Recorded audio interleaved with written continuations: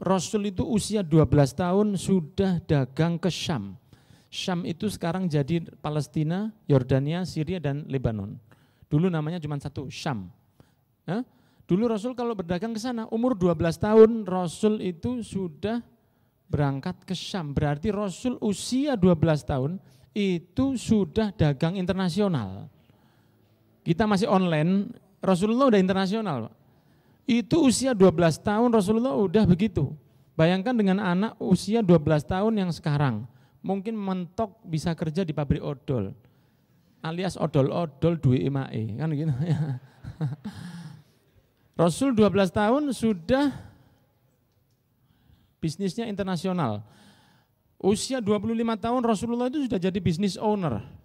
Ya, Rasulullah bisnisnya luar biasa. Makanya antum yang bekerja kan rata-rata kalau di Jakarta ini kan banyak bisnismen ya kan. Lah antum yang bekerja itu istiqomah dalam bekerja karena di dalam sebuah riwayat Imam Muslim ada dosa-dosa yang tidak bisa diampuni dengan sholat, tapi diampuni dengan bekerja. Bekerja yang pasti yang halal.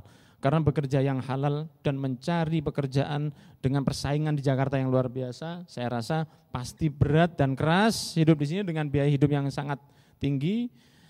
Tapi ketahuilah bahwa bekerja itu bukan termasuk cinta dunia Ya, bekerja yang halal itu bukan termasuk cinta dunia. Ada seseorang yang mengatakan gimana saya ini masih belum bisa ikut banyak pengajian. Saya masih kerja di pabrik, saya masih kerja di toko, saya masih kerja di uh, apalah di tempat pekerjaan saya dan saya belum bisa istiqomah. Saya masih cinta dunia. Itu bukan cinta dunia.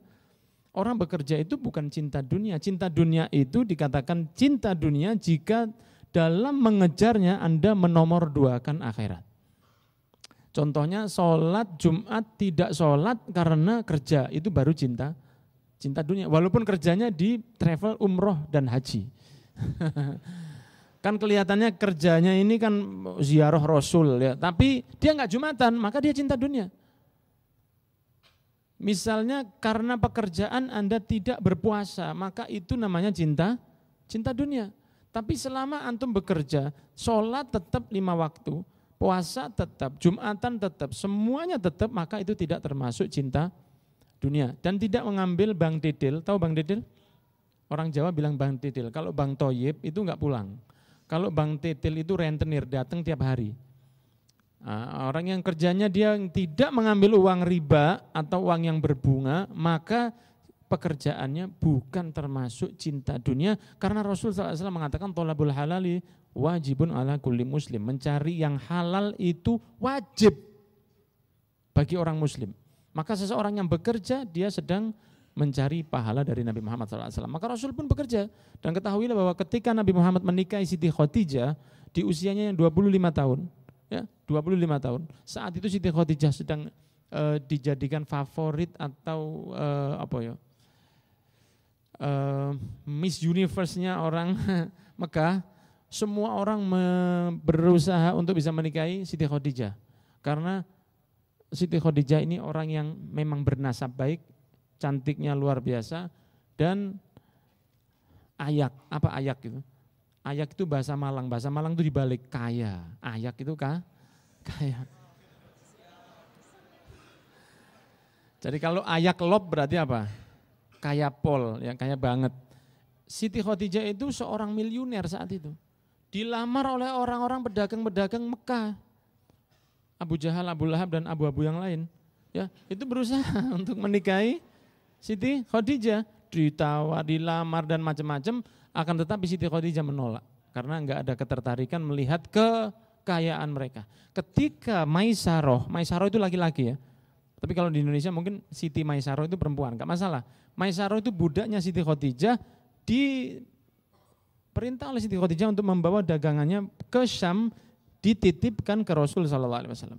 Berangkat pulang dengan keuntungan yang luar biasa. Maka ketika di, pulang, Maisaro ditanya oleh Siti Khadijah, bagaimana akhlaknya, bagaimana keadaan uh, Nabi Muhammad. Beliau eh, si Maisaro menceritakan akhlaknya begini, ketika saya berjalan selalu ada awan yang mengikuti kami. Jadi kita nggak kepanasan. Kemudian Eh, setiap dagangan kami dijual dengan jujur dan tidak pernah macam-macam lah dipuji luar biasa. Maka Siti Khadijah mengatakan ini berarti orang akhlaknya baik. Dilamarlah Rasul Shallallahu Alaihi Wasallam oleh Siti Khadijah lewat pamannya, nggak langsung. ya, nggak langsung. Ada orang lewat e, perantara disampaikan bahwa saya ingin bagaimana kalau kamu menikah dengan ponakan saya yaitu Khadijah. Dan diterima serta mata oleh Rasul SAW. Nabi Muhammad usia 25 tahun ya seusia saya sekarang mungkin. Rasul usia 25 tahun saat itu, sedangkan Siti Khadijah berusia 40.